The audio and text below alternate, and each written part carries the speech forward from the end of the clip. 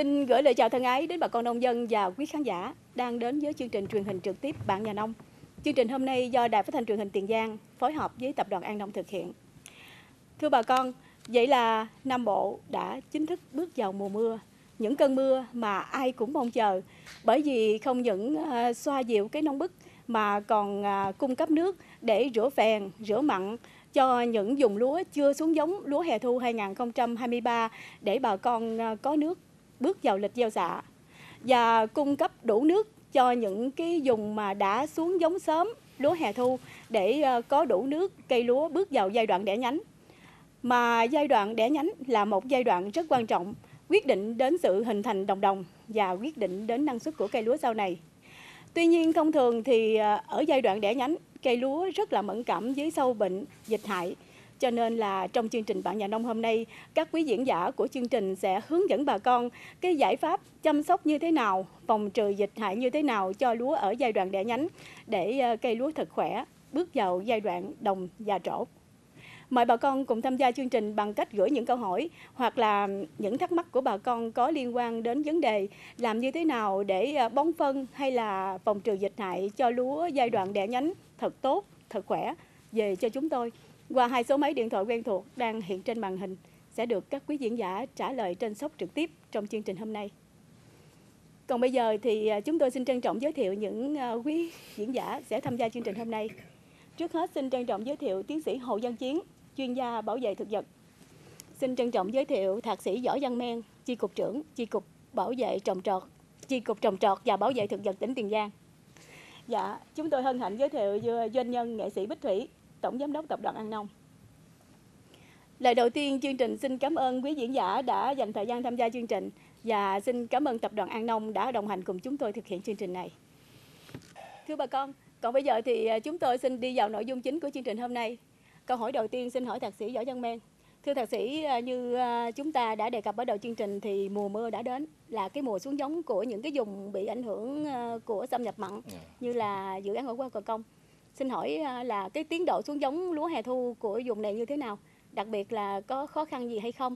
Và bà con phải lưu ý đến những cái vấn đề quan trọng nào khi mà chăm sóc lúa đầu vụ? À, Mời thạc sĩ. à, cảm ơn uh, Kim Nữ. Dạ. À, kính chào bà con nông dân và khán giả xem đài. Thì uh, phải nói là cái cái vụ lúa hè thu của năm 2023 này thì phải nói là bước đầu ngay từ đầu vụ thì nó có gặp phải những cái khó khăn Dạ. khó khăn bởi vì cái lịch ờ, theo cái bình thường và cái nhận định của khí tượng thủy văn đó, thì ngành nông nghiệp ờ, dự kiến là cho cái lịch xuống giống ở các huyện phía đông. Ờ, thì từ cái ngày 15 cho đến 25 tháng 5 nhưng mà qua đó thì cho thấy rằng là cái cái tình hình là mưa là nó không được thuận lợi. Cái thứ hai nữa, tình hình cái lấy ngọt của cống Xuân Hòa thì không được. Thành ra là cái lịch này thì không thể nào xuống giống được từ ngày 15 cho đến 25 tháng 5 thành ra chính vì thế ờ, ngành nông nghiệp ờ, cũng ờ, dời cái lịch thêm là xuống giống cái lịch chính thức là 20 20 cho đến 30 tháng 5 này. Thì nhìn chung là cái lịch mà cho từ 20 xuống giống đó, thì nó tới nay thì phải nói là rất ổn định bởi vì trong cái khoảng thời gian này thì cái cái lượng mưa rất lớn rất lớn. Và cái cái nguồn nước ờ, lấy dạng ở các cống Xuân Hòa thì nó tương đối cũng khá khá cao khá cao. Và những ngày vừa qua đó thì phải nói là cái lượng mưa ờ, cho tập trung ở cái vùng mà ngọt quá gò công thì rất lớn.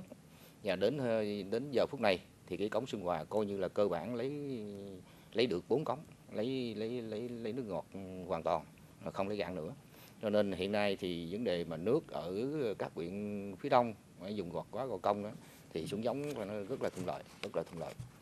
À, thì à, dự kiến à, cái cái số liệu thì tính chưa có điều tra thì chưa chưa có chính xác nhưng dự kiến là tới ngày hôm nay đó từ ngày 20 cho đến ngày hôm nay đó thì cái cái tình hình xuống giống ở các huyện phía đông thì khoảng khoảng trên dưới là 14.000 hecta 14.000 hecta. Trên cái diện tích là gần 20.000 hecta cho cái vùng à, À, vùng này à, trong cái vụ hè thu này. Thì còn lại là khoảng chừng 6.000 hecta nữa thì dự kiến là chắc hết tuần sau là chúng ta sẽ xuống giống hết cái cái cái vùng ngọt quá của của công cái vụ hè thu năm hai- hai- 2023 này. Về à, cái lịch như thế thì tôi thấy rằng trong cái cái lịch này thì thời gì thời gian ở gần đây thì nói chung là tình hình thì nó cũng không có phải khó khăn giống như những cái từng trước đó từng nước đó. Ờ, cái khó khăn ở đây thì chúng tôi thấy rằng là hiện nay thì cái vấn đề là bà con sợ rằng là cái cái cái cái chết giống do bị ứ động nước ứ động nước. Thì qua đó chúng tôi cũng có cái mấy cái khuyến cáo bà con nông dân như, như thế này.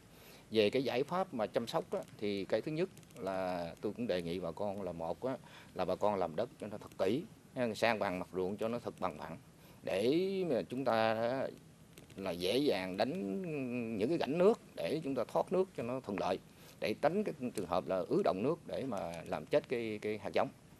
Cái thứ hai nữa là chúng ta làm như vậy thì chúng ta sẽ quản lý cỏ dại rất là tốt ở giai đoạn đầu. Bởi vì nếu mặt ruộng bằng phẳng thì chúng ta quản lý nước sau khi tuốt từ cỏ rồi thì chúng ta giữ nước ở trong khoảng tuần lễ thì hạn chế vấn đề cỏ lên ở cái giai đoạn sau rất là rất là hiệu quả và cái nữa là chúng ta dùng cái nước này bởi vì cái vụ hè thu thì thường hay á, là nắng mưa nó nó nó nó nó không liên tục cho nên nó vấn đề là xì phèn là cũng là một vấn đề. Cho nên ờ, nếu chúng ta giữ được cái nước thì chúng ta ém phèn. Cái thứ hai nữa là chúng ta có nước để mà nó hòa tan với dinh dưỡng để mà cung cấp cho cái cây trồng nó hấp thu kịp thời. Dạ. và cái vấn đề nữa là cung cấp ờ, tôi cũng đề nghị bà con là nên cung cấp ngay kịp thời cái dinh dưỡng để cho cây lúa ngay từ đầu để nó phát triển về sau được thuận lợi hơn. Thì à, qua đó chúng tôi cũng à, lưu ý cho bà con có mấy vấn đề à, mấy cái mấy cái cái tình hình dịch hại mà bà con cần quan tâm ở trong cái giai đoạn mạ cho đến để nhánh. Cái thứ nhất là hiện nay thì đối với cái con mũi hành, thì con mũi hành thì trong những năm qua là nó cũng có xuất hiện, ở Tiền Giang thì cũng có, nhưng mà cái cái cái tình hình mũi hành thì nó cũng không có bằng những cái tỉnh khác, nhưng vẫn có phát hiện thì ờ, cái vụ hè thu này thì đây là một cái điều kiện mà để mũi hành nó có khả năng là xuất hiện. Dạ. cái thứ hai nữa là cái bệnh ủa, cái cái đối tượng nó là cái con bọ trĩ bọ trĩ. Ờ, thì nhưng mà cái tình hình này thì tôi nghĩ rằng bọ trĩ nó cũng không nhiều lắm nhưng chúng ta cũng cần phải quan tâm cái đối tượng này. Cái đối tượng thứ ba nữa là cái cái con rầy nâu rầy Dạ. nâu. Đây đây là đối tượng mà có khả năng là là gây hại trong cái giai đoạn này đề nghị bà con cũng quan tâm thì qua đó chúng tôi cũng khuyên bà con là nên hạn chế cái vấn đề mà bón dư đạm. Bởi vì bón dư đạm trong cái giai đoạn đại nhánh này nó dư đạm thì nó sẽ kéo theo cái bệnh đậu ung lá. Cho nên là bà con cũng lưu ý cái bệnh đậu ung lá trong giai đoạn này. Đó là một số ý kiến xin trao đổi bà con. Và chúc bà con thành công. Và xin cảm ơn. Dạ. À, cảm ơn à, thạc sĩ Võ Văn Ben. Thưa bà con, rõ ràng là do thời tiết mà cụ thể là do mưa mà ở đầu mùa vụ thì à, dùng à, ngọt quá gò công rất mong mưa nhưng mà mưa muộn cho nên phải lùi lịch xuống giống. Còn bây giờ khi mà bà con vô cao điểm xuống giống thì mưa liên tục, bà con lại sợ bị ngập úng, bị chết giống nữa. Cho nên là bà con cần phải hết sức là quan tâm trong cái quá trình mà thăm đồng thường xuyên để ứng phó với thời tiết diễn biến phức tạp. Thưa bà con, như thạc sĩ Võ Văn Men vừa thông tin thì à, trong khi là bà con dùng dự án ngọt quá gò công đang khẩn trương xuống giống 6.000 hecta lúa hè thu còn lại thì những tỉnh khác như là Long An, Kiên Giang rồi thành phố Cần Thơ dân dân thì bà con đã gieo xạ lúa hè thu sớm rồi và cây lúa bây giờ thì à, chuẩn bị đẻ nhánh cho nên là ở giai đoạn này gặp mưa nữa thì bà con rất sợ bị vi khuẩn à, làm thối bẹ. Xin hỏi tiến sĩ Hồ Văn Chiến là có giải pháp nào xử lý được cái tình trạng mà lúa bị thối bẹ hay không ạ? Dạ, à, cảm ơn à, Kim Nữ. Dạ, kính thưa bà con. À, thì ờ, trong cái giai đoạn lúa đẻ nhánh đó bà con thì cái con vi khuẩn thì chúng ta không có lo lắm. Tại vì chúng ta lo nhất là cái con vi khuẩn Santomonas oryzae tức là cái con mà nó làm cháy bì lá đó. À, còn ở giai đoạn mạ thì tuy nhiên đó, tụi tôi khi mà đi đồng tụi tôi cũng chú ý tại vì bà con cũng phản ánh và bà con rất lo. Thì cái con Pseudomonas oryzae trước đây đó mình gọi là Pseudomonas oryzae thì cái con vi khuẩn này là bà con biết là nó tấn công ở cái giai đoạn ngay mạ luôn. Ngay mạ luôn và ngay cả đẻ nhánh. Và nó cũng có thể là làm chết một số chồi mà cái con vi khuẩn này là cái khi mà nó làm cho nó nó gọi là thối bẹ. Và nó có thể là nó lên luôn tới hạt luôn. Đó, thì mình gọi là cái vi khuẩn mà mà lép đen đó. Còn cái lép vàng là santomonas cái này là Pseudomonas đó, thì khi bà con thấy mà nó nó có cái vết đen và nhũng nước và nó kéo lên là bà con nghi đây là có thể là vi khuẩn thì chúng ta phòng trị thuốc bằng vi khuẩn. Còn ở trong giai đoạn mạ nó cũng có hai cái bệnh nữa. Tức là một cái bệnh mà chúng ta thấy là nó gọi là cái ờ, thối khô. Thối khô thì bà con biết rồi đó. Thì nó giống như cái bệnh cạo gió mà từ trước tới giờ chúng ta cứ đề cập tới hoài đó. Thì tôi gọi là thối khô tại vì cái tiếng Anh nó, nó sử dụng là cũng thối thân. Nhưng mà thối thân cái này không phải không phải là thối thân nhưng mà nó thối mà nó khô nó không có nhũng nước như hồi nãy. Thì ở đây là do nấm. Còn một cái trường hợp nữa tức là nó thối mà nó cũng bị đen nó thâm vô trong luôn. Thì cái này nó gọi là thối đen thối đen, thối thân. Cũng thối đen thân. Nhưng mà cái này cũng do nấm. Thì tôi nhắc lại tức là hai cái trường hợp do nấm tức là cái thối đen mình thấy là nó thâm vô trong cái bẹ và cái thối khô tức là nó không thâm vô cái bẹ. Ừ, giống như cái bệnh cạo gió trước đây mình đề cập. Thì hai cái bệnh này là do nấm còn cái bệnh là thối mà thối thân đó, tức là thối mà nó nhũng luôn cái thân đó, á, thì nó sẽ là lây lên trên cái hạt nữa thì cái này là do pseudomonas là do vi khuẩn. Đó, thành ra chúng ta phải phân biệt được hai cái triệu chứng này chúng ta có thể là phòng trị. Tại vì trong cái giai đoạn mạ nhiều khi mưa nhiều đó bà con để nước hơi cao thì cái điều kiện ẩm độ cao rồi nước nhiều đó, thì cái con vi khuẩn nó dễ tấn công hơn. Thì bà con làm sao mà giám định được để chúng ta phòng trị cho nó đúng và xin cảm ơn bà con Dạ, xin ờ, cảm ơn ờ, tiến sĩ Hồ Văn Chiến. Thưa bà con, rõ ràng là ở đầu chương trình thì bà con cũng thấy đó. Năm nay thì cái lịch thời vụ của vụ lúa hè thu dùng đồng bằng sông Cửu Long trên lệch khá lớn. Đây là vấn đề rất đáng lo ngại. Bởi vì như vậy thì ờ, trên đồng ruộng lúc nào cũng có thức ăn cho rầy nâu. Cho nên là bà con ờ, rất sợ là rầy nâu sẽ truyền bệnh vàng lùn và lùn xoắn lá cho lúa ở đầu vụ.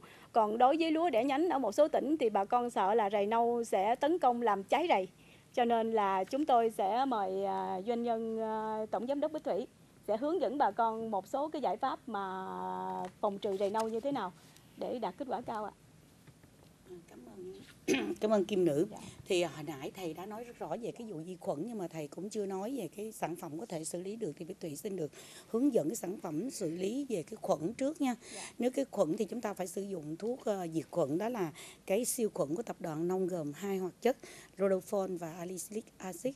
Thì cái loại này rất là tốt. Còn nếu như chúng ta thấy rằng là à, nó vừa bị đậu ôn mà vừa bị vi khuẩn thì chúng ta sử dụng cái bikin nha. Đó là bắc ba, ba, cộng với lại gclazone còn về cái rầy nâu à, thì Bích Thủy cũng xin thưa với bà con đó là ờ, à, rầy nâu là một trong những cái dịch hại rất là nguy hiểm à, như là kim nữ vừa nêu đó. Ngoài cái việc mà nó làm cho um, hút chích và hút hết nhựa cây làm cây ảnh hưởng đến sự phát triển của cây trồng thì nó còn um, truyền bệnh dạng lùn và lùn xoắn lá thì không thể chữa trị được. Do đó chúng ta cần phải xử lý con rầy nâu triệt để. À, tuy nhiên thì à, khi mà chúng ta nhìn thấy rầy nâu mà nó di trú hoặc là rầy nâu tại chỗ thì chúng ta cũng khoan phun xịt và phải theo dõi. Bởi vì là thường nó rầy nâu nó mà chúng ta nhìn thấy nó to lớn rồi là nó trưởng thành và nó đã sanh ra rồi nó đẻ trứng ở đó rồi. Và chúng ta theo dõi cái lứa thứ hai mà khi nó nở rộ từ tuổi 1 đến tuổi 2 à, đến tuổi 3 thì chúng ta phun xịt. Thì thuốc trừ rầy của tập đoàn nông có rất nhiều loại. Chúng ta có thể là sử dụng uh, loại đơn chất như là um, alphaza nó là thiamethoxam đó hoặc là chúng ta sử dụng cái bupropion tức là ăn nông ấp lao thì nó ung trứng tuy nhiên là bây giờ thì tập đoàn nông có rất nhiều loại thuốc trừ rầy à, mà trên nền tảng Nitemira nó vừa diệt rầy và vừa ung trứng luôn à, tùy theo tình hình rầy nâu ở từng địa phương thì các bạn hãy liên hệ với Bích Thủy số điện thoại 0934779900 hoặc chúng ta có thể comment ngay dưới cái Facebook mà Bích Thủy đang phát lại chương trình này để Bích Thủy có thể trả lời hoặc là tư vấn chính xác nhất à, cho bà con nha. Dạ xin cảm ơn. Dạ, thưa chị Bích Thủy thì ở giai đoạn đẻ nhánh thì cùng với bệnh hại thì chị cũng vừa chia sẻ cái à, cách phòng trừ dịch hại là rầy nâu. Nhưng mà cũng có một cái loại dịch hại đang à, rất là dễ phát sinh trên lúa đẻ nhánh, đó là con sâu đục thân. Mời chị hãy chia sẻ thêm về cái giải pháp đối phó với sâu đục thân như thế nào ạ? Cảm ơn Kim Nữ. Hồi lúc trước á, mà Bích Thủy chưa có thọ giáo thầy Chiến á, thì nói chung nghe chữ sâu đục thân cái là mau mau kêu phun xịt thuốc thôi. Dạ. Chưa có nhiều kinh nghiệm thực tế. À, nhưng mà từ hồi đi theo thầy thì thầy chỉ cho Bích Thủy được những cái mà rất là rất là thực tế để mình có thể xác định được dịch hại để trị trị cho nó đúng và đỡ tốn tiền nữa. Thì à, chúng ta thấy là con sâu đục thân á, tấn công ở giai đoạn đẻ nhánh thì làm chết đọt. Còn ở giai đoạn làm đồng thì làm bông bạc thì bông của nó bị lép lép hết và nó có màu trắng. Thì quản lý sâu đục thân này chúng ta không phải là à, bình thường cứ dùng thuốc phun không là không có được mà chúng ta phải theo dõi. Ở khi chúng ta phát hiện những cái ổ sâu ổ trứng á, trắng trắng nhỏ nhỏ và như hạt đậu nằm vậy đó thì à, theo như ờ, Bích Thủy được biết thì chúng ta thấy rằng là nó có khoảng từng từng à, một mét vuông, chừng hai, ba ổ trứng thì bắt đầu chúng ta cần phải quan tâm rồi đó. Và cháu ổ trứng đó không chắc là sâu đục thân đâu, mà một cái thí nghiệm thầy chiến đã hướng dẫn rất là nhiều lần và thì cũng học hỏi và truyền đạt lại cho người nông dân, làm cho người ta rất là thích thú. Đó là cái việc là chúng ta thấy như vậy thì chúng ta kéo bứt những cái lá đó bứt bứt những cái ổ trứng đó khoảng ba bốn ổ trứng đưa về trong một cái ly và chúng ta nhớ là nhúng cái bông gòn để tạo độ ẩm bỏ vào trong ly đậy lại và sau đó là vài ngày chúng ta quan sát nha vài ngày thì nó nở ra. Thì trường hợp có trường trường hợp là nở ra là con con ong ký sinh nó giống như con bù mắt vậy đó. Thì ra là chúng ta thấy đó là đó là thiên địch thì chúng ta không cần phun xịt. Nhưng thí dụ mà chúng ta thấy là nó nở ra là một con sâu nhỏ nhỏ thì chúng ta bắt đầu tiến hành phun xịt. Thì à, thuốc trừ sâu ừ, đục thân trước nay thì chúng ta thường hay sử dụng cái catap á, tức là cái ba, ba đăng nông á, thì là nó rất là phổ biến và nó rẻ tiền mà tốt. Tuy nhiên hiện nay thì công ty nông cũng đưa ra thị trường rất là nhiều sản phẩm uh, xử lý sâu đục thân. Uh, thí dụ như sản phẩm uh, uh, Onzin Super. Onzin Super chúng ta thấy là sự có mặt của uh, lambda protein tức là cái KT ăn nông á, cái này là trị sâu đục thân rất là tốt vị độc và tiếp xúc uh, cộng với thiamethoxam và cái diclobenzoron là diệt luôn cả trứng. À, hoặc là chúng ta sử dụng cái bích Bixen bởi thủy ờ, thường hay quảng cáo là là nó là có hai cái hoạt chất mới đó đó là ờ, uh, tebufirat với lại là biciprophen hai cái đó cộng lại với nhau thì cái sức cái, cái cộng hưởng lại là nó diệt trừ sâu rất là tốt. À, chúc bà con chúng ta bảo vệ mùa màng thật tốt và theo dõi chương trình để có những cái mẹo nhỏ như vậy để xác định được uh, dịch hại và chủ trị thiệt là tốt và đỡ tốn tiền dạ, xin cảm ơn. Dạ. Xin à, cảm ơn Tổng Giám đốc Bích Thủy. Thưa bà con, à, trong canh tác lúa thì có rất nhiều dịch hại, nhưng mà cái à, rầy nâu là một cái loại dịch hại khó chịu nhất bởi vì nó xuất hiện suốt cả vụ mùa luôn. Từ lúa đầu vụ, thạc sĩ Men cũng vừa lưu ý bà con là quan tâm đến rầy nâu. Rồi lúa đẻ nhánh thì Tổng Giám đốc Bích Thủy cũng lưu ý bà con quan tâm đến rầy nâu. Vậy thì rầy nâu chắc chắn là phải có cái giải pháp phòng trị hiệu quả. À, ngay sau đây thì à, các nghệ sĩ của đoàn tình ca Bắc Sơn sẽ bật mí với bà con cái giải pháp phòng trừ rầy nâu hiệu quả như thế nào. Mời bà con cùng theo dõi tiểu phẩm ngắn sau đây. Rầy ôi sâu rầy phá hoại Đám lúa non xinh tươi tiêu rồi Hàng tốt giá đẹp chính là hàng an nông Dùng thuốc an nông xử lý cơn nguy hại. Đó chính là nêu tham. Tiêu diệt rầy nhện sâu. Đăng đăng đăng đăng. Trời ơi anh ù làm gì ca lợi mình? Trời ơi. Ơ ơ mày hát hay quá ha. Tao đang ngủ mày hát ồn ào tao thức luôn á. Hát nghiêu ngao ơi. hoài. Rồi đi ra tưới dàn bí chưa? Dạ. Chiều nay á hái bông bí vô luộc chấm chao cho tôi có luôn bông bí vàng ngoài vàng. Công em chồng anh không trời hay. đất ơi thôi mày đừng có hát nữa đi. Tao buồn ngủ mày hát còn buồn ngủ hơn nữa đó. Tao hát hay gì không cho hát. Dọn nhà dọn cửa. Rồi đồ ăn sáng đâu. Ủa mà sao nay cô hai dậy sớm vậy? Mới 9 giờ à. Bình thường cô hai 11 giờ mới dậy mà. Mày nói lớn quá tao nghe tao cười tao mày ờ mày hát cái bài gì mà niêu tham niêu tham vậy đó cái bài gì mà trừ sâu rầy nhện gì đó. Có thiệt không vậy? Dạ có chứ. Nè cô hai ăn sáng đi rồi con nói cho cô hai nghe con con con chuẩn bị đồ ăn sáng cho cô hai rồi nè. Nếu tham nếu tham đâu rồi? Nếu tham con nhỏ nè kia nó, nó ăn cắp con rồi. Đâu rồi? Trời ơi hát nghiêu ngao mà không biết gì trơn. Niêu tham có hai hoạt chất. Nè à cái gì có đây? hai hoạt chất á Cái gì mà chữ, chữ tiếng Anh con biết đọc? À niêu tham đây hả? Nó là buroferin với lại Buro. tebuphenirat Tê, ơi. Bufen, bi, birat ừ. Dài nhưng mà nè không được. hôm qua tôi đi thăm đồng rồi nhện vé thì không có đâu. Nhưng mà có có rầy có rầy. Ừ, ừ. ruộng bên kia rầy đầy rồi nha coi chừng nó xà vô ruộng mình á ha. Rồi nó đẻ trứng này nha giờ làm làm công chuyện lẹ lẹ rồi. Rồi u chạy đi kiếm thằng ù cho tôi. Ấy anh ù á cô hai mới anh ù qua sáng giờ rồi. Mà tại con thấy cô hai còn ngủ nên con dám kêu. Thôi để con kêu anh vô nha nha cô qua hai. đây làm chi sớm vậy? Kêu nó kiếm cái sáng coi. giờ để con kêu. Anh ù ơi! Anh ù à! Vậy không nghe trời. Ô ấy ô trời ơi cái con rợm này. Trời ơi. làm gì mà lao ôm sùm vậy? Cầm muỗng mì ăn sáng ăn, đó. khỏi ăn cô hai kêu kìa kìa. Dạ dạ cô hai. Hai tụi bay làm gì vậy? trời nó kêu con mém mới ổn mì con cắn chưa được miếng thứ hai luôn á. Còn còn còn còn anh qua đây chi sớm quá vậy? À không hai. Sáng nay á là con ra ruộng mình con thấy rầy lớn nó bay nó xà xuống ruộng cho nên con chạy ù về đây con con báo cô hai biết liền á. Ừ, vậy cũng báo nó đi mua thuốc sạch ông nội ơi. Bà đừng có tài lanh quá đi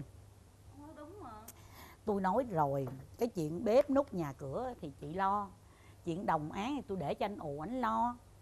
Chị mà cứ tài lai hoài à. Tại con sợ con sợ cho ruộng mình chứ bộ. Sợ sợ cái gì? Chị thích đi với anh ù ra ruộng lắm đúng không? Đúng không? Tôi đi guốc trong bụng có gì mà. Nè. Dạ. Tôi phát hiện ra rầy rồi đó. Giờ tính sao đây? Thì cô hai biết sao không? Con thì con tính á là hễ con rầy lớn mà nó xà xuống là nó đẻ liền. Đúng không? Mà nó đẻ liền thì mình để cho nó đẻ luôn đi. Đến khoảng độ rầy tuổi 2 tuổi 3 mình xịt một lần nó chết hết luôn. Giờ rầy xong vậy đó rồi định xịt cái gì? Định xịt cái gì? Con biết nói nè này hay nè. Nói đi. Thì mình xịt. Xịt alpha ra đúng rồi. Ừ. alpha ra có cái gốc thuốc á là alpha mà tao coi hình như nó là thiamethoxam đó thấy chưa? Không. cô hai đọc còn không được nói con con nhớ Bậy gì bậy. sam á. Tao đọc đúng. Thiamethoxam nè còn cái này nữa này nha. Dạ. Xịt vô là Cái- cám chết hết đúng rồi luôn. đúng rồi cái Đó, thuốc đó là rầy cám nha. Nhưng mà rồi. có một cái loại nữa là an nông áp lao á. Nó là gốc là buroferin á thì Dạ. là nó ung trứng chống lột xác. Đó hai mình chọn mấy cái thuốc đó mình xịt đi được không? Con á thì ờ, thấy vậy tại vì mấy lần mà con đi ờ, ờ, học mà mà mà hội thảo nông dân của tập đoàn An Nông tổ chức cái câu này nói về rầy á họ có một cái hỗn hợp gồm ba hoạt chất rất là hay. Đó là ờ, uh, nitemiram nè uh, diblubenzuron nè với lại uh, uh, cái gì cái gì? Uh, dimethoxin khi mà ba cái hoạt chất đó mà kết hợp lại là nó vừa tiêu diệt con rầy nó vừa ung luôn cái trứng rầy đấy con. Biết luôn trời ơi Trời mày hay quá liền. luôn á thiệt cái gì cũng biết hết luôn đó. Chính xác luôn nha mấy hoạt chất đó đúng không? Ừ. Siêu chết đúng không? Trời hay ơi. quá ha. Nó nói đúng đó cô hai nó hay thiệt. Đúng không? Đúng không? trời Nó hay thiệt. chưa? Chính xác nó hay thiệt con đêm về cái này nó hay thiệt. À, ừ ha thuốc này hay dữ hen thuốc này thấy trên tivi hoài Dạ. đúng không? Dạ, đúng cái rồi. ruộng của ờ, bà năm kế bên đó hợp tác xã hạ châu đó. Dạ. Xài thuốc này không? Đó. Không cái này mày hay thiệt. Tao có đem về đúng mày nói đúng thiệt. Nè nhưng mà coi á mua đúng nhà cung cấp đó nha. Đừng có giống như Sofit ăn nông lần trước tôi kêu mua của công ty ăn nông không mua đi Ý, mua chỗ khác. Mày im. Cái lần trước là do thằng thanh không phải cho con trời ơi sai chịu sai đỡ thường người khác đỡ thường người vắng mặt không có tốt nha. Bởi vậy mày biết rõ của hai nè. Cái vụ này con biết nè. Biết gì nữa? Biết ở đâu cung cấp không? Ở đâu? Tập đoàn an nông thì đúng rồi. Ôi trời ơi. Giờ tập đoàn năm mày nói hay quá tập đoàn năm tập đoàn năm mày nói thử coi tập đoàn năm có gì có gì mà phải bắt buộc phải mua tập đoàn năm trời ơi dễ ẹt à. Uy tín nè. Chất lượng nè. Hiệu quả nè. Giá cả cạnh tranh nè Bà con vừa xem xong tiểu phẩm ngắn gian đề giải pháp phòng trừ rầy nâu. Thưa bà con, có lẽ là từ nay đến cuối vụ mùa, bà con mình phải vất vả đối phó với rầy nâu. Bởi vì à, rầy nâu à, có mặt ở à, khắp các trà lúa, từ mới xạ cho tới lúa đẻ nhánh, thậm chí là lúa trổ gần chín cũng có thể là xuất hiện rầy nâu.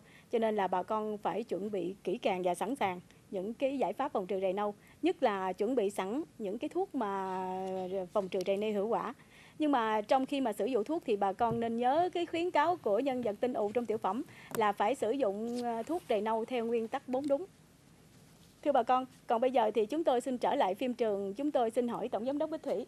Thưa Tổng Giám đốc Bích Thủy, trong tiểu phẩm thì đối với ờ, dịch hại là rầy nâu thì mình có siêu chết, gút chết vân vân. Nhưng mà đối với bệnh đậu ôn lá là một cái dịch hại quan trọng thì mời ờ, Tổng Giám đốc Bích Thủy hãy hướng dẫn bà con cái giải pháp mà phòng cũng như là trừ như thế nào cho có hiệu quả.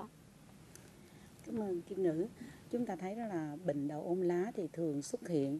Và đậu ôn lá trong giai đoạn đầu thì đôi khi thì cũng không cần phun thuốc. Nếu một cái sự bù trừ lá mới nó ra nhiều thì chúng ta cũng không thể mà dễ ngư mà bỏ ruộng được. Chúng ta phải kiểm tra thường xuyên mà khi thấy đốm thâm kim thì chúng ta phun xịt. Thì cũng có một số cái ý kiến là hỏi về vấn đề mà ờ, kháng thuốc đối với cái bệnh này thì ờ, Bích Thủy cũng tham khảo ý kiến của thầy thì thầy cũng cho Bích Thủy một cái số cái cái ý kiến mà Bích Thủy nghĩ rằng là chúng ta cũng cần quan tâm khi chúng ta sử dụng thuốc. Ví dụ như là à, khi chúng ta thấy xuất hiện đốm bệnh chúng ta phun thuốc rồi thì nó hết và như vậy thì là nó không có kháng thuốc. Nhưng mà cái bào tử mà nó phóng thích ra nó bay sang ruộng khác để mà nhiễm bệnh cho cái ruộng khác. Thì nếu khi chúng ta phun và chúng ta phun trùng lại cái loại thuốc mà cái ruộng mà nó phóng- thích cái bào tử ra thì khả năng nó cũng sẽ gặp Kháng. gặp cái chuyện kháng và chúng ta nhìn thấy rằng là đối với cái bệnh á, thì nó ít kháng hơn là đối với những cái, cái loài sâu ha. do đó chúng ta phải lưu ý nha và đặc biệt thì à, để mà tránh cái tình trạng kháng thuốc và cũng như có nhiều loại thuốc để chúng ta lựa chọn xử lý thì Bích Thủy xin được giới thiệu như mà đơn chất á, thì chúng ta thấy có ờ, uh, isoprotylen tức là alpha á à, hoặc là tricilazone tuy nhiên chúng ta phối hợp những cái gốc lại với nhau thì cái hiệu quả nó sẽ cao hơn. Thí dụ như là bimi bimi thì có tricilazone cộng với sunfua. Thì sunfua của nó cũng hay lắm nó khoanh khoanh vết bệnh và làm khô mặt mặt bệnh rất là nhanh để không không có bị cái cái cái bào tử nấm nó không có phóng thích ra và nó lây nhiễm hoặc là nó tái nhiễm lại. Thì ừm, nhưng mà hiện nay thì Bích Thủy vẫn thấy rằng là cái sản phẩm um, Bikin á, ở cái sản phẩm Kitini là một cái trong những sản phẩm mà tôi thấy là nó vừa có tricilazone vừa có sulfur vừa có phenocyanin phenocyanin là một cái chất bệnh rất là, xử lý bệnh rất là tốt nó khoanh dùng nhất bệnh như làm khô mặt bệnh thì Bích Thủy tùy bà con tùy cái tùy cái khả năng đầu tư của bà con thì chúng ta chọn cái thuốc như thế nào cho nó phù hợp dạ xin cảm ơn ạ. Dạ, xin à, cảm ơn à, chị Bích Thủy, Tổng Giám đốc Tập đoàn Nông. Thưa bà con, à, ở vụ hè thu này không những dịch hại rồi bệnh hại diễn biến phức tạp mà như chúng tôi cũng đã đề cập đến nhiều chương trình trước thì ở vụ hè thu này do thời tiết như vậy cho nên là cái việc mà bón phân rồi kỹ thuật bón phân cũng khó khăn hơn. Vậy thì xin hỏi thạc sĩ Võ Văn Men, bà con muốn à, bón thúc để cây lúa đẻ nhánh ở giai đoạn 2 thì bà con có cách bón như thế nào? Ờ, Cảm ơn ờ, Kim Nữ. Dạ. Kính chào bà con. Thì ờ, qua Kim Nữ hỏi thì tôi xin trao đổi với bà con như thế này. Đúng là trong cái vụ lúa hè thu á, thì nói chung là cái tình hình sử dụng phân, cái lượng phân và cái cách ừ, sử dụng phân nó có khác hơn và khó khăn hơn Dạ. ở những cái vụ lúa ờ, khác. Ví dụ như giờ, giờ cái vụ lúa hè thu á, về cái lượng phân mà cần cung cấp cho cây mà dinh dưỡng cho cây thì nó sẽ cao hơn bởi vì là như, như so với vụ thí dụ như vụ đông xuân thì cái vụ hè thu thì cái lượng phân phải nói là nó sẽ ờ, cao hơn.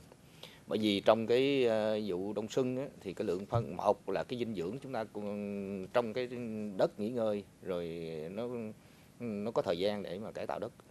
Cái thứ hai nữa là lượng phù sa nó cung cấp. Cái ờ, còn cái vụ lúa mà hè thu đó thì chúng ta thấy rằng nó có mấy cái vấn đề này mà cần phải có cái lượng phân nó cao hơn một là trong cái mùa mùa hè thu đó thì cái lượng cái nắng nóng rất nhiều. Cho nên vấn đề bốc hơi bốc hơi phân bốc hơi thì nó rất lớn. Cái vấn đề thứ hai nữa là khi mà mưa nhiều nó cũng làm cho cái trôi rửa, rửa, rửa cái, cái cái cái lượng phân nó cũng là rất cao. Cho nên là cái cây cây lúa cần trong cái vụ hè thu này cần phải có cái lượng phân nó nó cao hơn để mà nó đáp ứng đủ cái dinh dưỡng để mà nó cho năng suất tối đa thì đó là cái cái, cái nhu cầu của cái cái phân bón mà trong cái vụ lúa hè thu.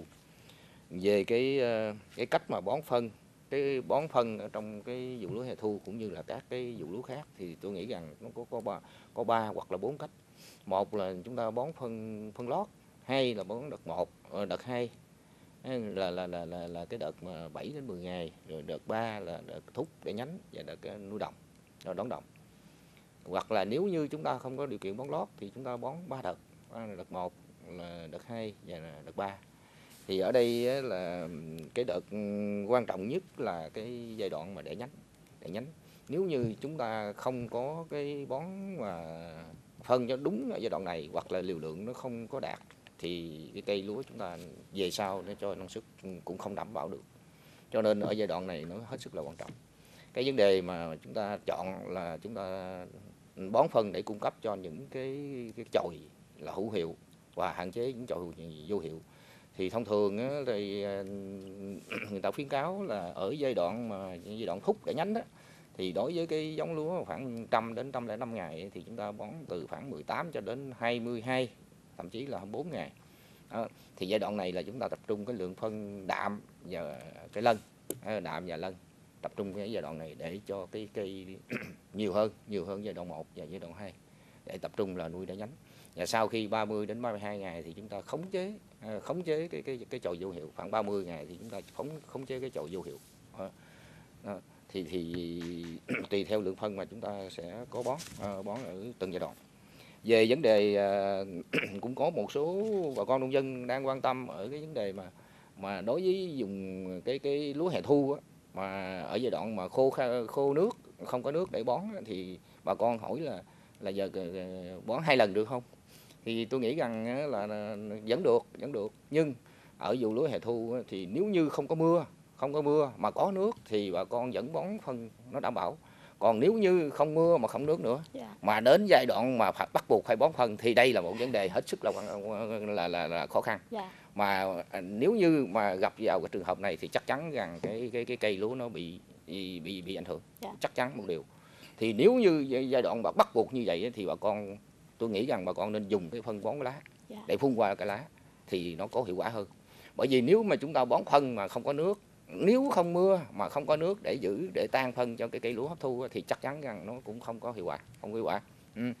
thì à, đó là chuyện bình thường còn nếu như ở giai đoạn này mà nếu không có mưa nữa nó nó, nó hơi ít mà chúng ta giữ nước lại không được á, thì có thể là chúng ta sẽ bón hai đợt được. Nếu 18 ngày chúng ta bón chia làm hai lần một lần là 18 ngày chúng ta bón và sau 20 24 ngày thì chúng ta bón một lần nữa là hết cái cái phần của đợt hai thì vẫn được. À, bởi vì nếu chúng ta tập trung vô một lần thì nó sẽ bốc hơi à, thì nó mất phân mà chúng ta sẽ chia làm hai lần vẫn bón vẫn có hiệu quả. Dạ. Đó, thì đó là một số cái ý kiến ờ, một số cái lưu ý mà xin à, trao đổi với bà con. Dạ xin cảm ơn. Cảm ơn à, thạc sĩ Võ Văn Men. Vậy là nếu mà thời tiết quá khắc nghiệt, không thuận lợi mà hoặc là bón phân gốc mà không hiệu quả thì bà con có thể bổ sung thêm phân qua lá. Thưa bà con, nếu nói về à, phân à, phun qua lá để à, bổ sung cho cây lúa ở giai đoạn đẻ nhánh hoặc là trổ đồng để cho lúa cho đồng to bông bụ năng suất cao như thế nào thì phần tiếp theo chúng tôi sẽ mời diễn giả tiếp tục hướng dẫn bà con. Còn bây giờ chúng tôi xin hỏi tiến sĩ Hồ Văn Chiến Thưa tiến sĩ, ở phần đầu thì tiến sĩ đã hướng dẫn bà con cái cách bảo vệ lá đồng trước cái sự mà thối bẹ. Vậy thì à, mời tiến sĩ tiếp tục hãy hướng dẫn bà con cái cách à, khi mà có đồng rồi đó thì có cách nào để bảo vệ cái đồng đồng bởi vì rất sợ là bị mũi hành.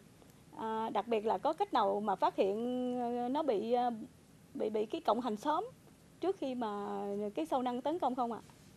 Dạ, Cảm ơn à, Kim Nữ.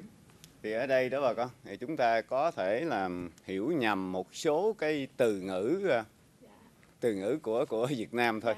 Tôi lấy thí dụ như thí dụ như các nhà khoa học nói là bảo vệ ba lá đồng cho nó còn xanh thì tốt. Nó thì cái ba cái lá đồng ở đây không phải có nghĩa là một hai ba.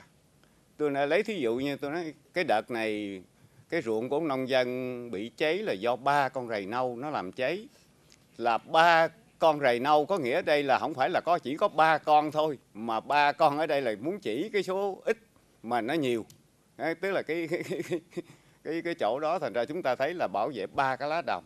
Tức là có nghĩa là bảo vệ làm sao cho nó được cái lá đồng chứ không phải là chỉ bảo vệ có ba cái lá đồng thôi. Thành ra chúng ta nhiều khi chúng ta nghe rồi cái chúng ta lặp đi lặp lại riết các bà con cứ cứ nhầm là mình bảo vệ đúng ba cái lá đồng là tốt nhất.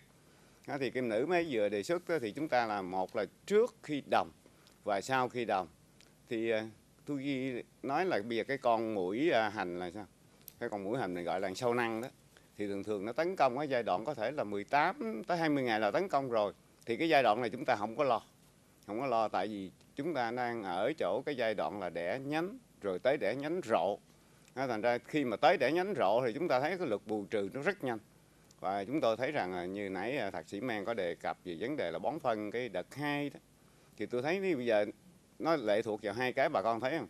Bây giờ một là cái ruộng mình có khô nước không? Nếu có mưa mà nó vẫn mất nước thì sao? Chúng ta có thể là chia làm hai. Chia làm hai hai đợt bón để chúng ta không mất phân. Còn bây giờ mình à, mình bón xuống mà nó giữ nước được á, thì chúng ta là không cần chia. Chúng ta bón luôn. Thì chỗ này là một là để giúp cho cây lúa nó đẻ nhánh hữu hiệu sớm. À, và nếu mà khi mà bị cái con à, con mũi hành nó tấn công rồi sao? Chúng ta không có sợ. Bà con cứ bón thêm cái lân tại vì người ta nói là cây lân là bón ngay từ đầu vụ, mà bây giờ lỡ bị mũi hành tấn công ở giữa vụ sao bà con cứ tăng cường cái lân? Thì cái này IRI đã nghiên cứu rồi. Nếu mà bón lân tăng lên thì mũi hành nó sợ lân nó giảm luôn. Và cây lúa chúng ta lại ăn cái rễ sâu và đẻ nhánh thêm. Lân nó cũng đẻ nhánh chứ không phải là lân chỉ cho làm lá lúa xanh nha bà con. Thì nó giống như đa lượng khác. Thì như vậy chúng ta thấy là cây lân mà khi mình chúng ta bón vô thì nó, cây lúa nó xanh. À, và con mũi hành nó giảm.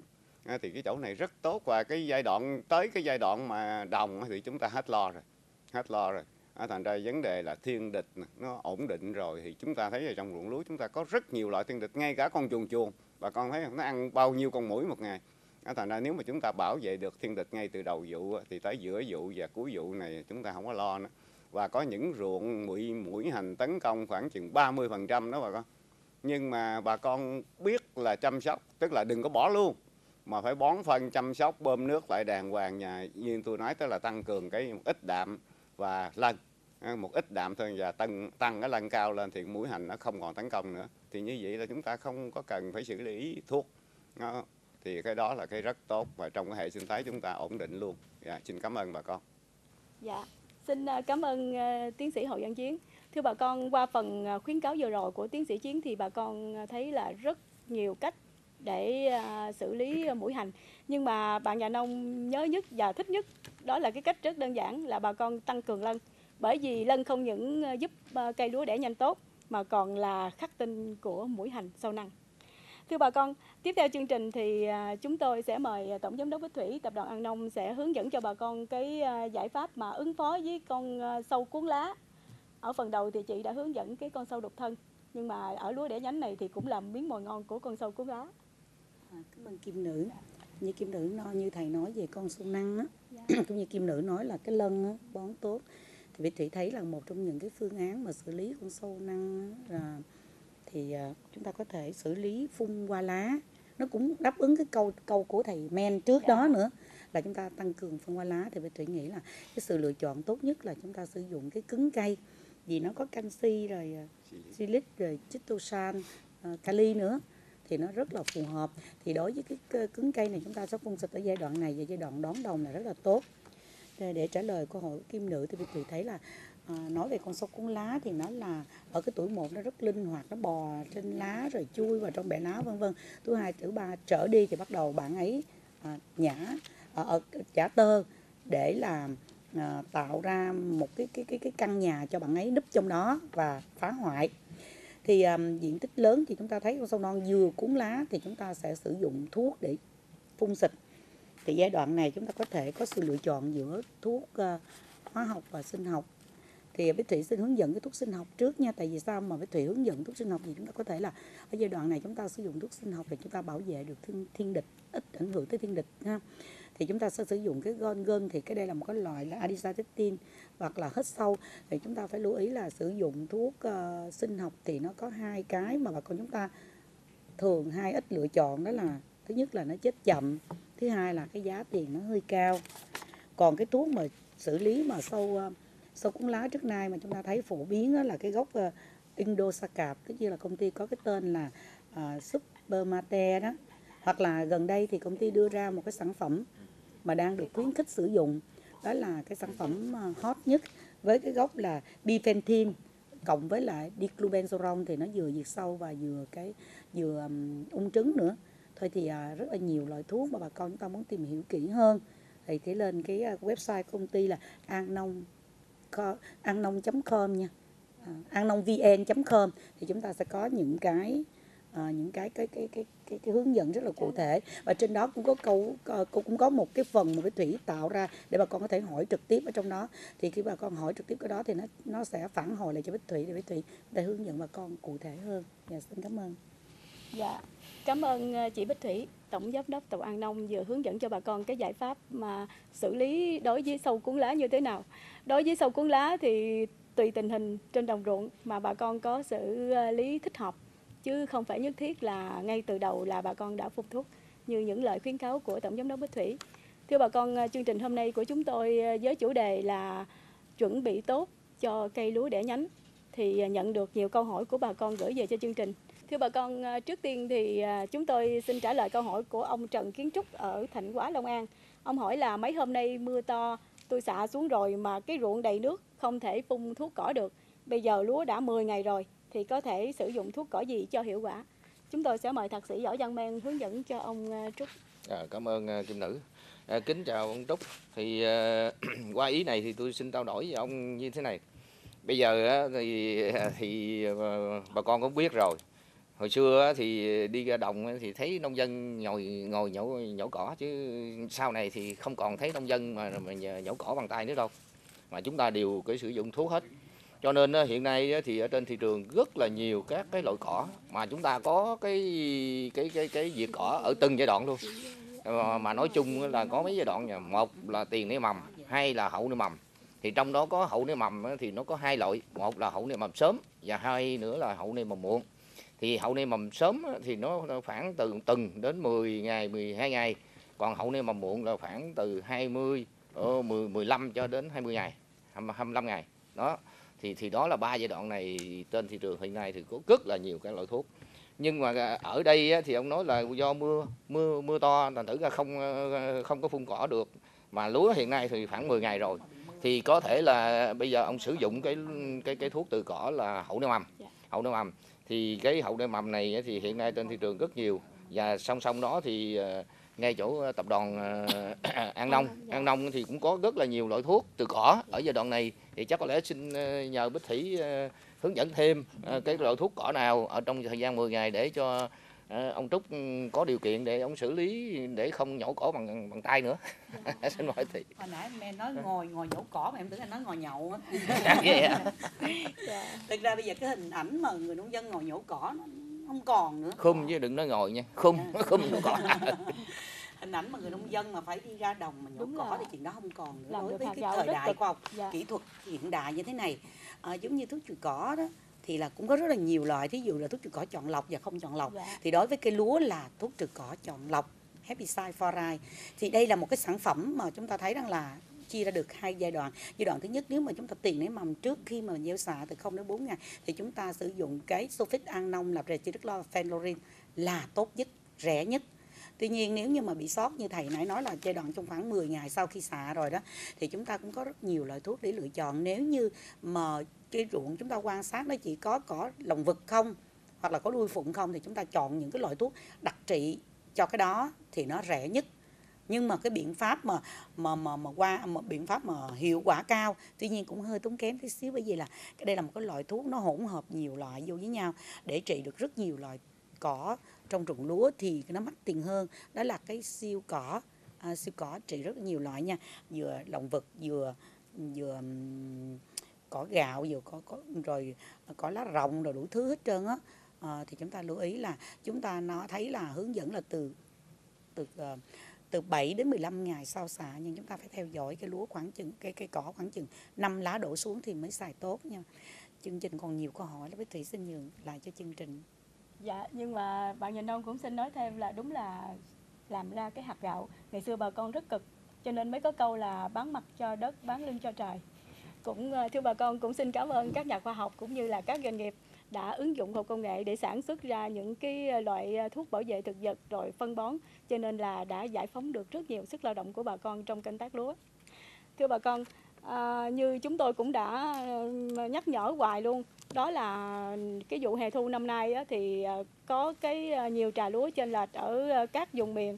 Cụ thể như là phần lớn một số diện tích thì chỉ muốn gieo xạ như là chỉ mới là gieo xạ như ở vùng ngọc Quá gò công nhưng mà ở ờ, huyện cai lậy thì cái ờ, trà lúa xuân hè đang bước vào lúa giai đoạn đồng trổ cho nên là ông Quỳnh Văn Nông ở Mỹ Thành Bắc có hỏi là lúa xuân hè chỉ mới trổ đều mà sao tôi thấy ờ, có lác đác xuất hiện khô cổ bông nhờ ờ, tiến sĩ Hồ Văn Chiến hướng dẫn cách phòng trừ ạ. Dạ anh Nông thân mến, như vậy là có lẽ là anh chưa có phun thuốc trừ bệnh đậu ôn cổ bông.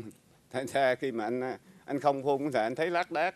Rồi anh đợi chừng nào mà nó khô cổ bông gần hết thì anh mới phun là thua. ừ, anh phải phun ngừa trổ cái cái, ôn cổ bông lúc nó trổ lác đác.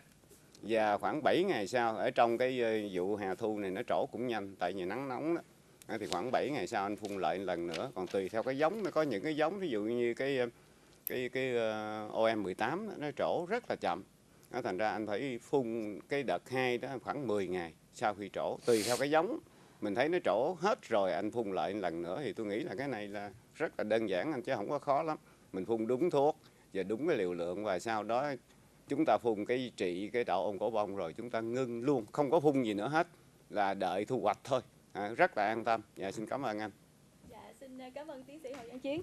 Thưa tiến sĩ cũng ờ, rất là thú vị khi mà tiến sĩ vừa nhắc bà con phun đậu ôn cổ bông. Thì ông Trần Văn Thái ở Phú Nhuận cũng ở cây lậy, chắc cũng là lúa xuân hè đây. câu hỏi là lúa tôi ờ, trổ rồi, xin hỏi cô Bích Thủy, à, đậu đạo ôn cổ bông thì ờ, xử lý như thế nào? Nếu mà mưa to quá, phun thuốc có tăng thêm liều lượng hay không? Dạ. À, Bích Thủy xin được tiếp lời thầy á là nếu như đạo ôn lá chúng ta đi thăm đồng thấy cái vết thâm kim chúng ta phun cũng chưa muộn tuy nhiên là đạo ôn cổ bông thì luôn luôn chúng ta nên phun phòng bởi vì là cái cổ bông với cổ ghé nó nhỏ xíu thôi. Dạ. nếu mà có một cái vết thâm kim có nghĩa là cắt đứt cái đường vận chuyển rất là lớn rồi làm cho cái lúa của mình bị lem lét. Còn đạo ôn cổ bông thì Bích Thủy hướng dẫn rất là nhiều lần. Trên nền tảng là chisilazone nồng độ cao thì xử lý được nhưng bây giờ thì chúng ta cũng sẽ kết hợp rất là nhiều thứ để mà à, làm sao cho nó ngăn chặn thiệt là nhanh. Đó chính là cộng thêm với sunfua hoặc cộng thêm với phenolsanin còn à, đậu ôn cổ bông mà bị xịt xong bị mưa có tầng tăng liều hay không? Thì bé thủy nghĩ là không có tăng liều chúng ta phun xịt đúng liều thôi nhưng chúng ta phải coi thời tiết. Chúng ta nên là coi thời tiết rồi dự báo thời tiết hàng đêm của trên đài truyền hình. Và ngày mai thì không có mưa thì chúng ta sáng sớm lo phun đi lo phun sớm. À, rồi nếu thường mưa thì mưa buổi chiều. Còn nếu như sau khi chúng ta phun rồi chỉ vài tiếng hồ sau mà mưa thì không phải là tăng liều mà phải phun lại từ đầu Dạ. rất là tốn kém dạ Dạ, vậy là có một cái điều đặc biệt là đối với đạo ôn cổ bông thì bà con sẽ phun phòng thì hiệu quả hơn. đúng rồi Dạ, những dịch hại khác thì chúng ta thấy có bệnh thì mới phun. Dạ, xin cảm ơn Tổng Giám đốc Bích Thủy. Thưa bà con, ít phút còn lại thì chúng tôi sẽ mời à, thạc sĩ Võ Văn Men trả lời câu hỏi của ông Đặng Văn Tâm ở Thịnh Nhật Gò Công Tây. Ông hỏi là lúa xuống giống 7 ngày mà nhổ à, lên thấy cái rễ không được đẹp. Không được đẹp có nghĩa là chắc là có cái màu Vấn sắc đề, khác đây. có vấn đề Dạ, và có mùi hôi nữa. Ừ. Xin hỏi là có phải bị ngộ độc không? À, mời thạc sĩ Men hướng dẫn Ờ, cái cách rồi. xử lý ạ. rồi cảm ơn kim nữ à, kính ông tâm thì qua cái qua cái ờ, mô tả cái cái cái cái triệu chứng thì, thì, nghĩ rằng chắc chắn là, là, bị ngộ độc hữu cơ rồi bởi vì vừa qua trong khoảng thời gian làm gấp rút cho nên là cái cái cái cái, cái tàn dư thực vật nó chưa phân hủy chắc chắn là bị ngộ độc hữu cơ rồi thì thì bây giờ tôi khuyên ông một là là là là ông lấy nước đưa nước lên ruộng rồi thay nước một hai lần. Sau đó thì hiện nay lúa là là là, là đang ờ, 7 ngày 7 ngày thì giai đoạn này là bón phân. Cho nên ông ông thay nước một hai lần xong rồi là ông giữ nước để mà bón bón phân. Nhớ là kết hợp với humat humat để mà bón vào. Cái thứ hai nữa là ở trên là ông phun cái lân dễ tiêu là, là hiện nay là lân mà mà cái cái cái lân mà nó chế biến ừ, phun qua lá đó thì thì hoặc là humat thì ông phun lên thì chắc chắn rằng cái lúa ông sẽ phục hồi và vượt qua. Dạ. à, chúc ông thành công. Dạ. xin cảm ơn. À, đối với cái à, ngộ độc à, này á, thì rất quan trọng ở lúa đậu vụ cho nên là chị Bích Thủy à, muốn bổ sung thêm à, một số ý. lúc thầy men nói cái vụ ngộ độc hữu cơ mình muốn nhảy vô mình nói liền. Thì chúng ta biết là nên làm đất đó, ban đầu làm đất chúng ta Dạ. sử dụng Genki và HKC thì nó là cải tạo đất là hạn chế được cái việc mà ngộ độc hữu cơ rất là tốt nè Dạ.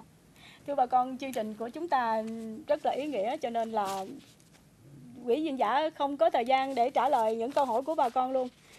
Cho nên là chúng tôi sẽ chuyển những cái câu hỏi này cho chị Bích Thủy, Tổng Giám đốc Tập đoàn An Nông. Chị sẽ trả lời trên Facebook An Nông Bích Thủy. Mời à, quý bà con theo dõi trên Facebook của chị Bích Thủy. Thưa bà con, rõ ràng là chưa có vụ lúa nào mà cái tình hình à, sản xuất à, phức tạp như ở vụ lúa hè thu 2023 này. Trên à, các tỉnh thì có nhiều trà lúa khác nhau, cho nên là rất khó khăn. Không thể nào bà con có thể áp dụng cùng một cái giải pháp phòng trừ dịch hại chung cho một cái trà lúa ở các tỉnh được. Cho nên là tùy theo tình hình thực tế, tùy theo cái thời gian sinh trưởng của cây lúa ở từng vùng khác nhau mà các quý diễn giả của chương trình Bạn Nhà Nông sẽ hướng dẫn cụ thể, chi tiết cho bà con những cái giải pháp mà phù hợp với đồng ruộng.